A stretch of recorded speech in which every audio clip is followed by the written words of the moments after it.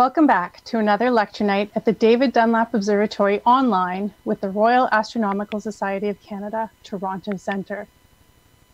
My name is Denise Chilton, and I am the RASC Toronto Centre DDO Committee Chair.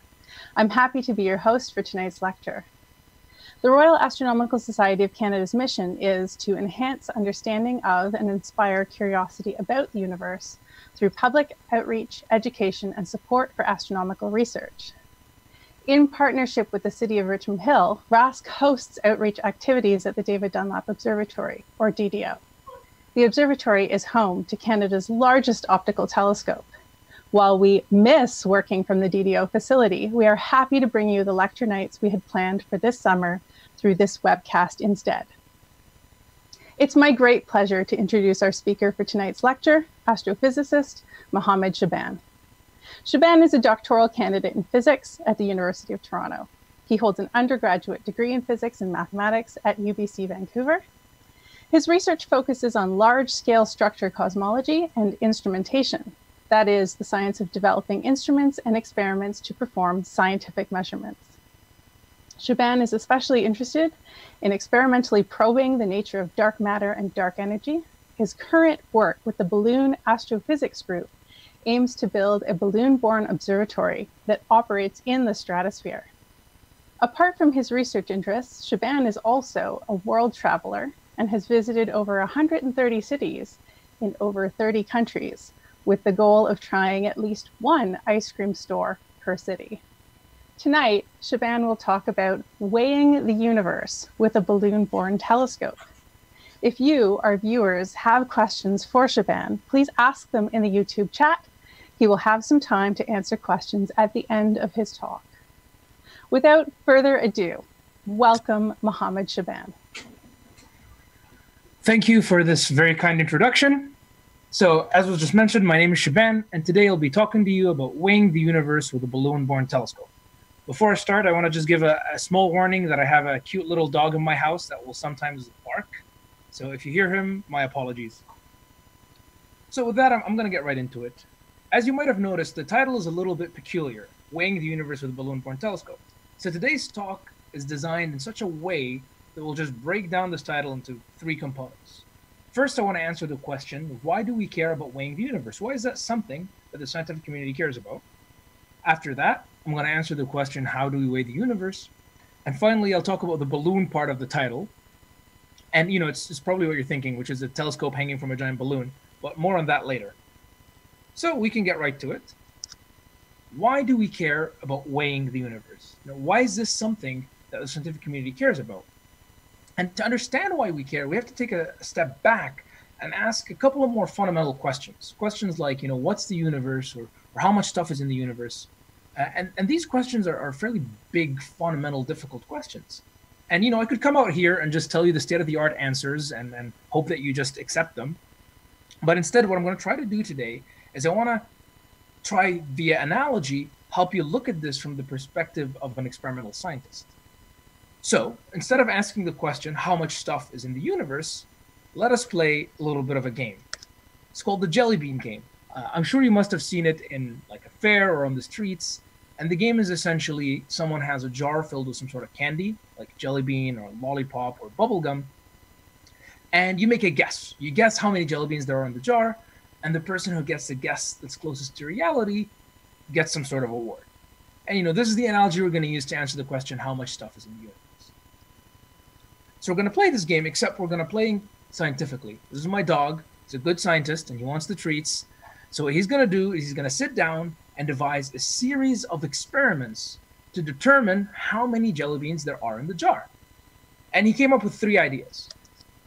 The first, which is the simplest one, is he could just open the jar, take out the jelly beans one by one, you know, one jelly bean, two jelly bean, and count them. And that'll give you the total number of jelly beans.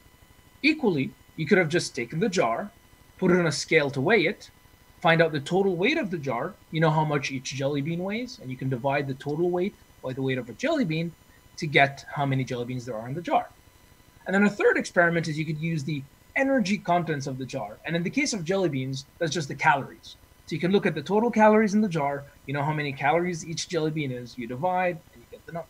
So these are three fairly simple experiments that, if done properly, should give us the number of jelly beans in the jar. So let's pretend that we have a jar of jelly beans and we conduct those experiments.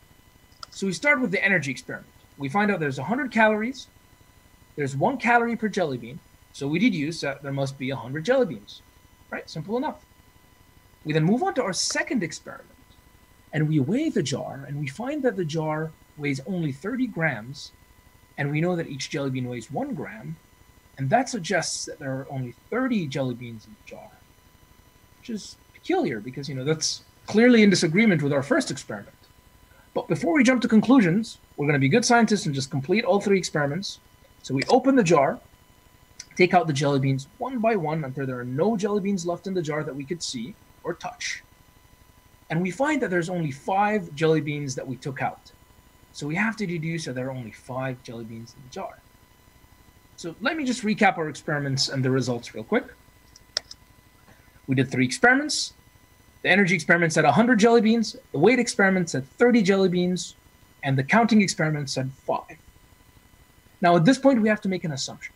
We assume that all three experiments were conducted in an appropriate manner, no cheating, and you know no funny business going on. If we make this assumption logically all three experiments should be giving us the number. So we're left no choice but to make a, a fairly weird set of deductions. We deduce the following. We deduce that in the jar there were five jelly beans that had energy had weight we could see them and we could touch them those are the five jelly beans we took out when we opened the jar and, took them out one by one but then we deduce that there's an additional 25 jelly beans that have energy and have weight, but we couldn't see them or touch them. So it's when we weighed the jar, we found that there were 30. Only five of them we were able to pick out, leaving 25 that were unaccounted for. And then finally, there's an additional 70 jelly beans. The majority of the jelly beans in the jar have energy, but we can't weigh them or see them or touch them. We only deduce their existence by measuring the calories. And then because you know we're being scientists here, scientists love giving names to things, we're just going to give them names. So we're going to call the five jelly beans that we could see and touch matter jelly beans. The 25 jelly beans that we could weigh but couldn't see or touch, we're going to call them dark matter jelly beans. And the 70 jelly beans that only had energy and we couldn't see, touch, or weigh, we're going to call them dark energy jelly beans. And this is essentially where analogy stops because it turns out when you do similar thing with the universe, you get similar results. So if you know go out and measure the total energy in the universe, you get you know 100 and then if you weigh the universe you get 30 and if you uh, you know look out and count you get 5. And what this tells us is that the majority of the universe, 70% of the universe is made up of the substance that we call dark energy and this dark energy both its physics and origin are currently unknown. Additionally, 25% uh, is made out of dark matter, which is equally mysterious to dark energy, finally leaving only 5% of the universe uh, made out of this regular matter. These are the things that we can see and touch and interact with. That's you, me, the planets, the stars, everything we interact with. And this is why understanding the nature of dark matter and dark energy are two of the most fundamental problems in modern day physics. So, what does any of this have to do with weighing the universe? Well, it turns out that understanding the nature of dark matter and dark energy depends on understanding how much dark matter and dark energy there are. You know, how they behave is coupled to their quantities. So if I can weigh the universe more accurately, you know, is it 25% dark matter or is it actually 26? Is it 24.6? The more accurately I can weigh the universe, the more accurately I can tell how much dark matter there is. And that means the more accurately I can tell how much dark energy there is, which will allow me to use some results about their nature and physics. So I'm hoping that at this point you're fairly convinced, okay, cool. I I'm happy to admit that weighing the universe seems interesting, but how am I gonna do that? It's not like I can just pick up the universe and you know put it on a scale. And you're right, you can't. Instead, you can do a couple of methods that take advantage of the physics of the universe. Uh, there's a couple of ways to do it, but I want to focus on, on a way that I personally like that relies on gravity. So the way gravity works, according to Einstein's theory of general relativity, is that objects that have mass, objects that have weight, they bend the space around them. So, you know, this sounds pretty weird, but if you look at this GIF here, it illustrates that quite nicely. You have a heavy object here, like a planet, and it's bending the space around it. And then you have a slightly lighter object here, kind of like a moon, and it also bends the space, just not nearly as much as the heavier object. So, what happens is, is the lighter object keeps falling around the heavier object in orbit, kind of like how the moon orbits the Earth. So, gravity just tells us that heavy objects bend space, and the heavier the object, the more space bends. So far, so good. It turns out that when space is bent, it affects more than just matter, more than just objects that have mass. It turns out that it also affects light. So if I have an object radiating light like a star in the background that you see here, and the light, you know, normally travels in a straight line, when it goes near a heavy object, because the space is bent, the path of the light will actually curve. All right, so far so good. Space is bent, causes the light to curve. So what does this have to do with weighing the universe? Well, let me illustrate it using this, this method here. Imagine that you have a light source, the circle we're looking at here. This is a circle that's radiating light at you. And you have your telescope down here. Normally, the way you see things, right, the way your eyes work and the way a telescope works is you collect the light coming in from that object and you remap it, you redraw it. So, you know, your light rays are coming in from the circle and it reaches your telescope and you see a circle. So far, so good. Now imagine I take a heavy object and I place it between you and the star. So here is the where you are, and here is the star or the circular light source. And I put a heavy object in between you two. What's going to happen is is that the light, as we discussed, is going to bend because the space is bent by this heavy object. And it turns out that not only does heavier objects cause more bending of space, which results in more bending of light, the closer you are to the heavy object, the more you're going to bend because the closer you are to the bent space. So what happens is, is I have this circle here. The light radiated from this area is going to bend more than the light being radiated from this area. Which means that by the time the light gets to my telescope, I'm no longer seeing a circle. My circle is now stretched. I'm now seeing an ellipse.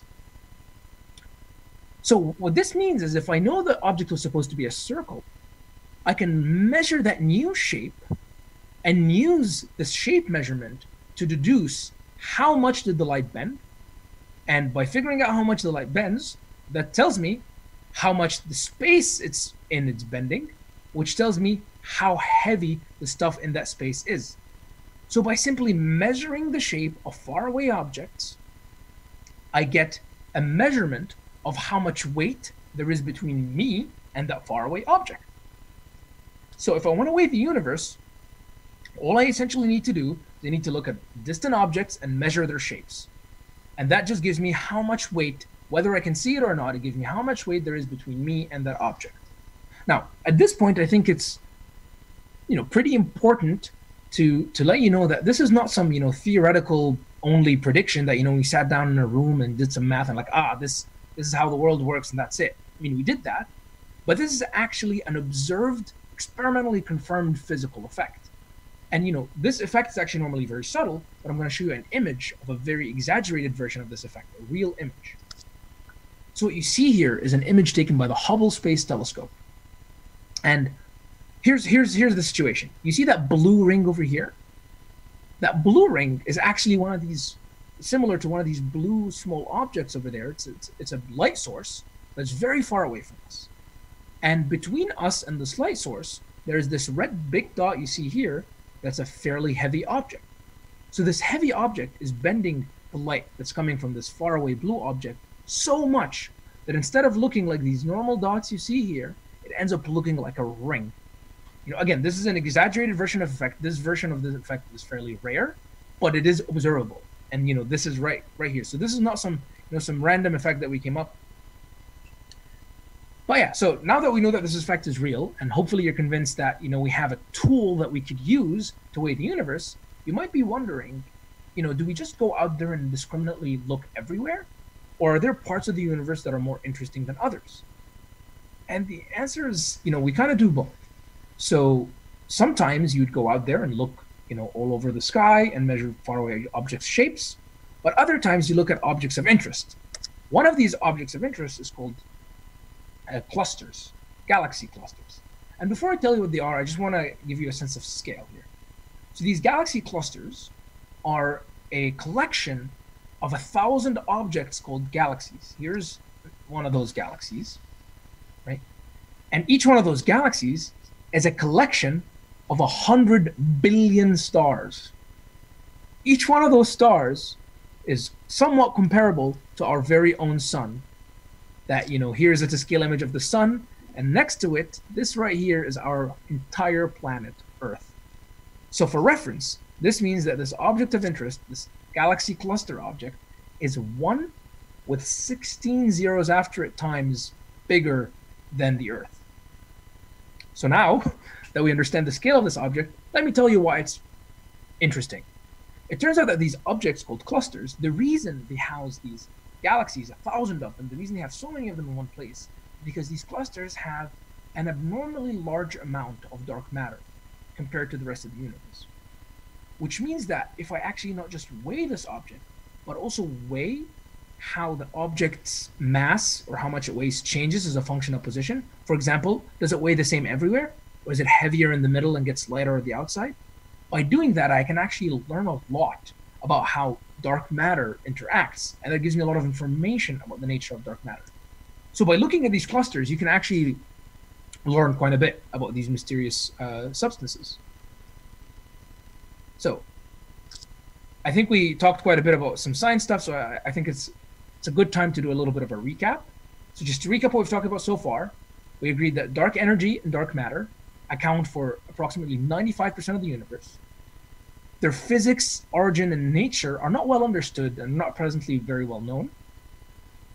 We agreed that we can study their nature by weighing the universe because it tells us how much of them there are, and their nature happens to determine how much of them there are. And finally, we agreed that we can use the bending of light to weigh the universe and weigh objects of interest like these massive galaxy clusters. So now I finally get to the balloon part. I owe you an explanation. Where does the balloon come in? So I'm going to talk to you about an experiment called SuperBit. This is an experiment that I work on, and it stands for the Super Pressure Balloon Borne Imaging Telescope. And all SuperBit is essentially is a scale for the universe. It's one of these experiments we use to weigh the universe. Uh, and if you've been paying attention, you might be thinking, hey, wait a minute. You just convinced me that all I need to weigh the universe is to go out there and take pictures of objects and measure their shapes. Why do I need some fancy, expensive instrument like Superbit to go and do that for me? And you know what? That's a great question. And I want to illustrate why you need to do that with a little bit of an experiment. So if you're listening, I ask you to take out your phone, if you have a camera phone available. I want you to turn on your camera.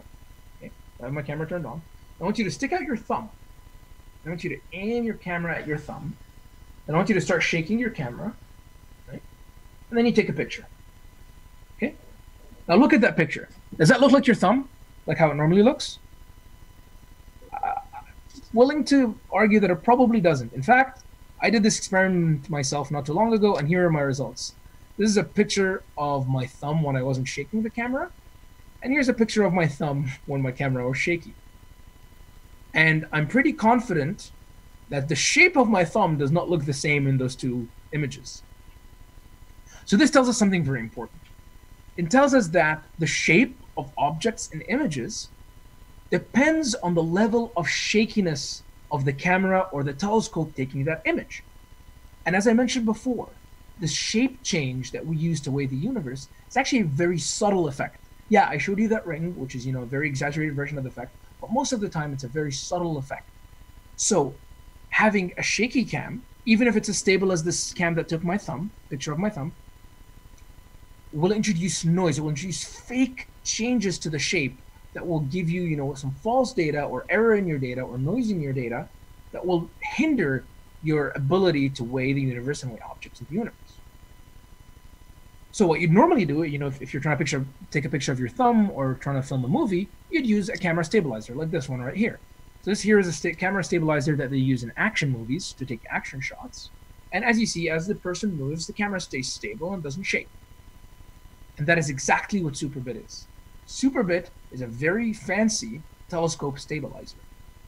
In fact, Superbit is so stable that its level of stability is equivalent to threading a needle from a kilometer away. So you could go stand a kilometer away from me and you know hold out a needle, and Superbit stability threads the needle, holds the needle, uh, holds the thread in the needle without touching the edges for half an hour continuously. That's how stable it is.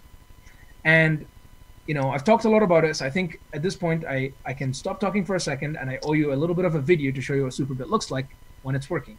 So this is a video of us running some tests uh, before uh, we launched in September 2019 out of Timmins, Ontario for a test flight.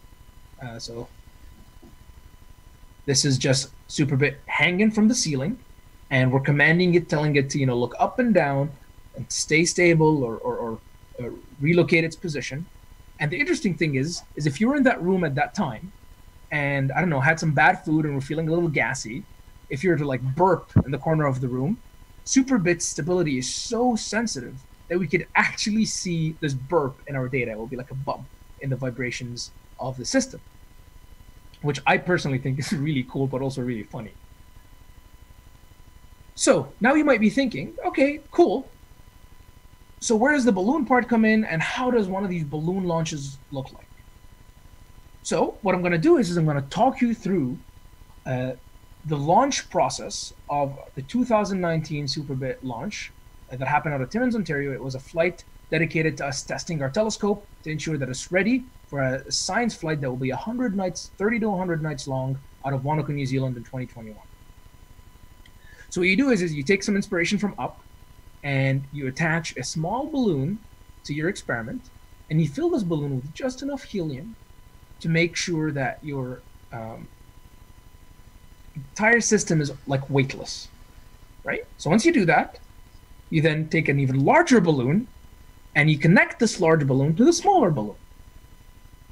And then you take this large balloon and you fill it with 400,000 cubic meters of helium. So for reference 400,000 cubic meters that's equivalent to if we had let's say we had 600 people in my house right now can't hold that many people let's say we had 600 people in my house i could give each one of those people 20000 kegs of beer and that would still only just start to fill this balloon. That's how big this balloon is and then you let the system go to launch and you just release this balloon and it slowly starts rising you know because it's a helium balloon and when it's fully extended as you can see here it's actually almost two-thirds of the height of the cn tower in toronto this system is huge. Uh, and you know, I'm not just going to tease you by talking about the launch.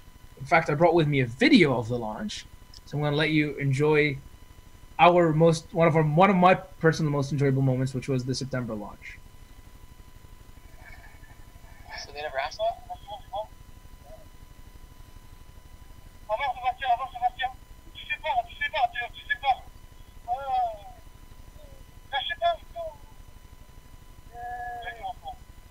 Bye bye, Superbit. Bye bye. Bye bye. Oh, look at it go. Oh! So I'm sure you can hear the excitement in my advisor's voice as it launched. So uh, what happens is is that you let it go and you wait until it gets to 35 kilometers above sea level. And once it gets there, then you rush to your ground stations. This is the Superbit team and you know we're all of our computers essentially driving this experiment uh, and you know you wait until you're 35 kilometers above sea levels and then you can start taking some pictures so at this point i want to show you one of the pictures that we took in our 2016 test flight this is not a science grade picture but it's what we call a pretty picture it's taken just for its aesthetic beauty and the reason i want to show you this specific picture is because i want to highlight something uh, extremely cool i think about about uh, SuperBIT so this is the picture SuperBIT took and what I'm going to do right now is I'm going to superimpose on top of this image the image of the same object taken by the Hubble Space Telescope, right? So, ready for it? Boom. Did you see that? Let me do it again. There. So what you notice here is that Hubble's field of view is significantly smaller than ours. And that's one of the reasons SuperBIT is really interesting, is because it has this huge field of view, you know, 30 to 36 times bigger than Hubble's. And this field of view allows SuperBIT to take pictures of these interesting objects we talked about called clusters, it can take a picture of the entire giant cluster in one image. and you know this this is one of the coolest things about SuperBIT. And in fact, that's what we do. So this is a picture of a cluster from the 2019 launch. I took this picture in mid-September, and uh, this is a fairly famous cluster. And you know, there it is. All these, almost a very large number of these dots are, are galaxies that are composed of billions, hundreds of billions of stars.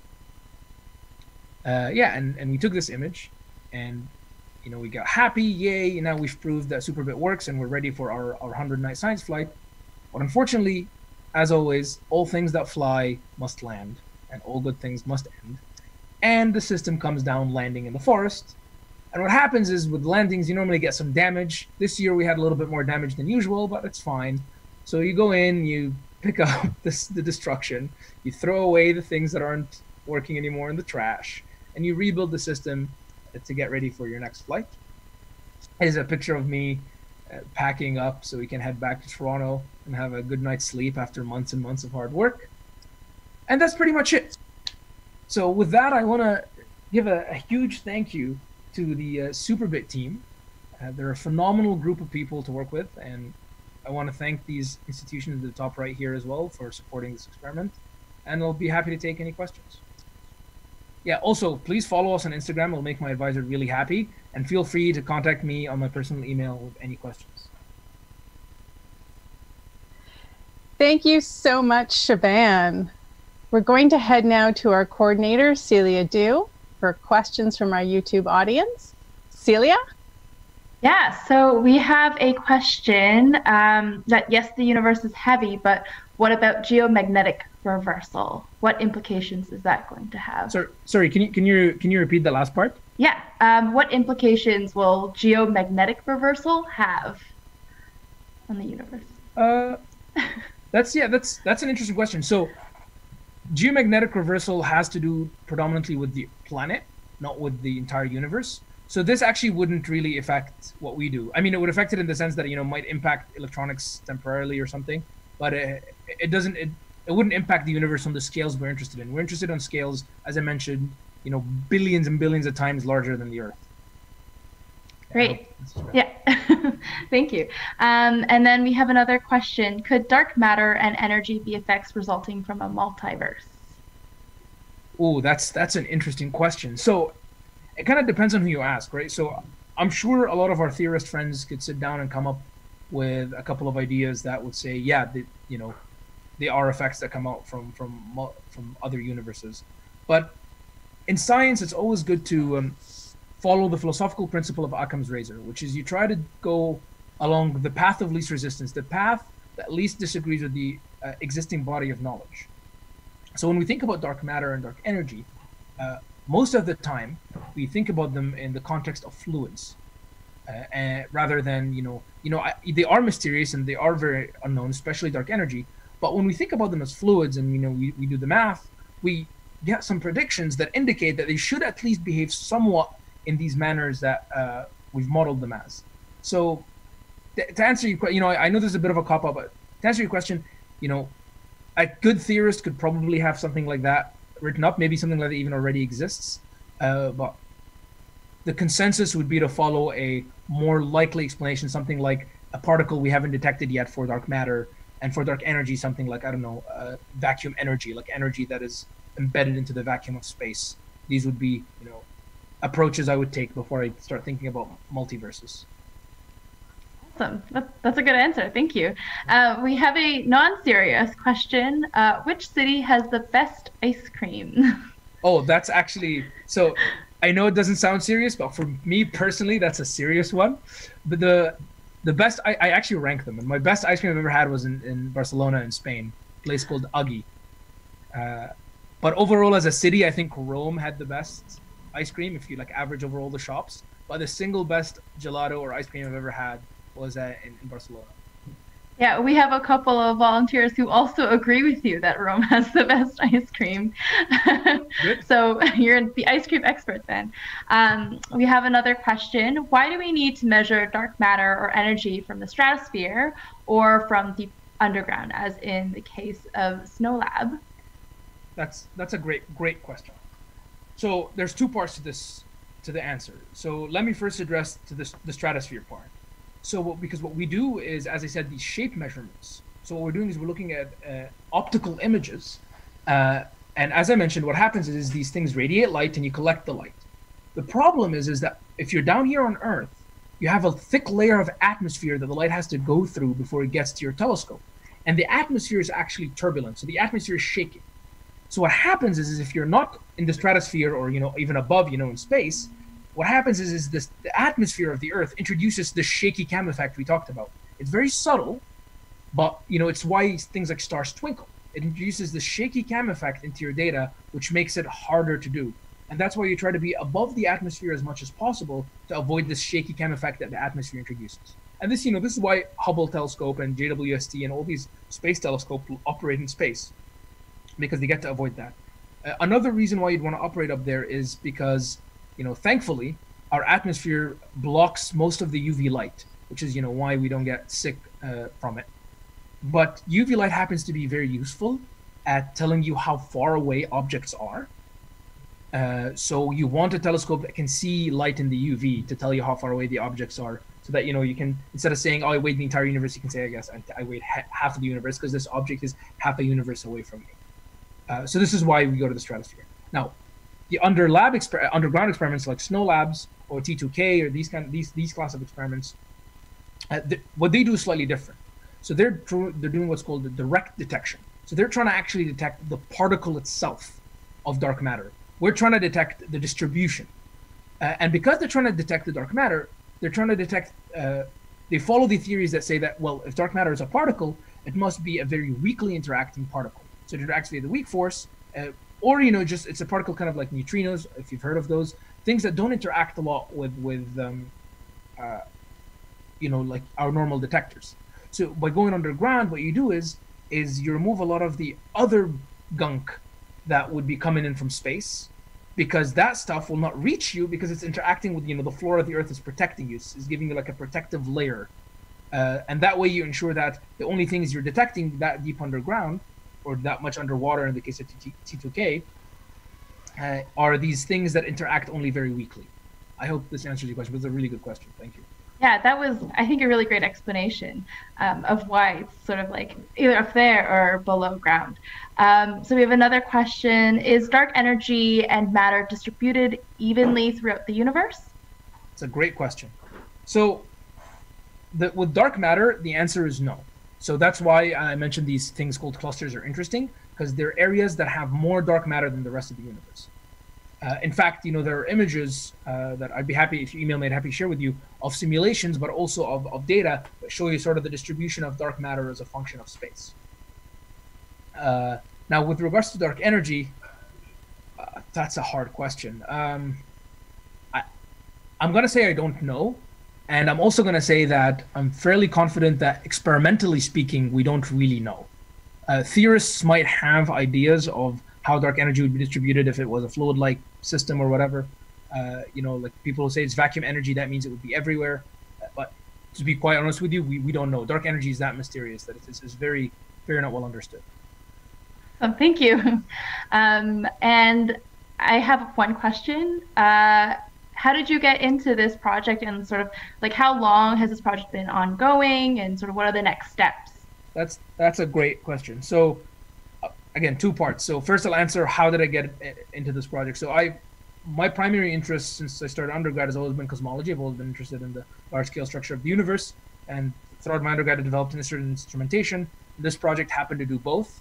You use instrumentation to study the large scale structure of the universe. So i i talked to the people who work on it and asked to be involved and have been with them since 2018 now this project itself started in 2015 uh, well, it started development in 2013 and had its first test flight in 2015. Um, and since then, it's had a 2016, 2015, 2018, and 2019 flights. So it had a first test flight to ensure that the system could point. Then it had another flight to ensure that the uh, system can stabilize to the level of stability I was talking about, where you can thread a needle, it can you know, give you that level of stability. And then I had a, a flight in 20, 2018 to ensure that you know all of our software and and, and everything functions smoothly. And then finally, our 2019 flight was to test that the telescope operates the way we want it to, and in order for us to declare that we're ready for a science flight. And then uh, the aim is sometime in 2021, uh, around sometime between January and March, uh, might be delayed because of COVID, but we'll see. Uh, we're going to have a 30 to 100 night flight out of Wanaka, New Zealand, where we're going to look out in the sky and weigh as much as we can. Specifically, we're going to try to weigh 150 of these cluster objects and use them to make deductions about what aspects of the universe um, are dominated by dark matter and how much dark matter there is and whether or not dark energy evolves with time and things like that. Amazing. So you'll be going to New Zealand then? Yes, yeah. So yeah, so we launch out of our science launches are out of New Zealand uh, over the ocean, and our test launches are out of Timmins, Ontario, and Palestine, Texas. Amazing. um, we have another question coming in. After such a hard landing, can you be confident in the rebuilt hardware? Will you need more test flights? Do you plan for the hardware to be reused after your major long-term mission next year? That's a that's a really good question. And the answer, I'm sorry, but the answer is going to be a little bit long. so the first part is the following. Um, after hard landings, we are normally confident that the system will work, mainly because we thir- we rebuild using the same uh, engineering architecture and also using the same electronic cards and electronic systems as that what flew. And then after we rebuild, we thoroughly test to ensure that it performs to the same manner it did right before the previous flight. So no, I, I we, we are we, we are considered science ready. We don't think we need any more test flights. Uh, and yeah, so so and we are somewhat you know you can never be 100% confident, but we are you are somewhat confident that it will perform at least as well as the last test flight. Uh, now, the second part of the question, which was do we intend to recover the system and reuse it? So oftentimes in ballooning that does happen. In our case out of Wanaka, New Zealand, if you do the math, I mean if we could we will. But if you do the math, it is most likely that we're going to terminate over the ocean. And if we terminate over the ocean, it means that the entire system is going to crash into the ocean, which makes it very unfeasible to, you know, things that land in the ocean are, are fairly hard and very expensive to find unnecessarily. We can just rebuild it for much cheaper. So if it lands in the ocean, we don't intend to recover it. If it lands not in the ocean, we're going to try our best to recover it. But that brings up a, a very cool point, which is because we have limited bandwidth, uh, our data that we take when we're up there, uh, the way we recover it, in case you know, in case as I said, we land in the ocean, we can't get our data. We actually have our hard drives parachuted down to land with GPS, so we can go find our hard drives before the thing crash lands in the water. I hope that answers your question. That's a really interesting tidbit. yeah. Um, yeah, for sure. Uh, I think this might be our last question, and it's more of a personal opinion, I guess. Do you believe that we're alone out here in the universe? yeah, so that's that's a, that's a good question as well. Um, yeah, this sort of depends on who you ask, right? A lot of people will say something along the lines of yes, for sure. Some people will say, uh, oh no, there's definitely aliens. Some people will say maybe, maybe not. And my answer is going to be a little bit unsatisfactory, which is I don't think I have enough data to comment.